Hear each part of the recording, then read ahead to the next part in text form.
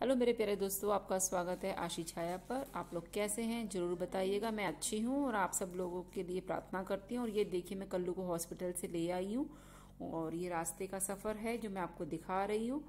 और गाड़ी में बैठी हुई है कल्लू और घर जा रहे हैं हम लोग। और ये है कबूतर जो हमारे ग्राउंड फ्लोर में फंस गया था। मैं इसको टेरिस पर ले आई हूँ।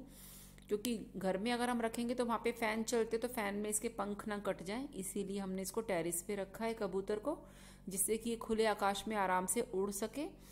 और आपको पता ही है कि भी चिड़िया कबूतर हो, तोता, मैना हो स्ट्रे डॉग हो, हमारे घर में सबके लिए बहुत जगह है। और दिल में भी तो हम लोग ये नहीं सोचते कि नहीं, कबूतर है तो तोता है कौआ है तो हम लोग उनकी सेवा नहीं करेंगे, हम लोग सबकी सेवा करते हैं। और ये देखिए आज का मौसम, कैसा है मौसम आप देख के बताइएगा। और आपकी साइड पे भी मौसम बहुत अच्छा हो रहा हो, क्योंकि आजकल बारिश हो ही रही है और मौसम ऐसा है कि भी धूप भी कम निकल रही है, मौसम चेंज हो रहा है, आप लोग अपना ध्यान रखिएगा।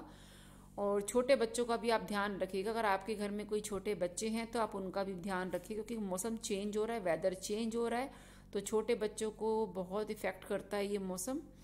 तो हो सके तो उनका ध्यान रखिएगा छोटे बच्चों का और आप लोग भी अपने काम पर अगर जाते हैं तो टाइम से अपने घर पहुंचिएगा, क्योंकि बारिश का कोई पता नहीं होता कब भी भी बारिश हो जाती है मेट्रो आ गई है आपके लिए, आपके सफ़र को आसान करने के लिए, और इसके साथ ही मैं आपसे विदा लेती हूँ। सब्सक्राइब कीजिए, लाइक कीजिए, शेयर कीजिए, बने रहिए मेरे साथ। Thank you.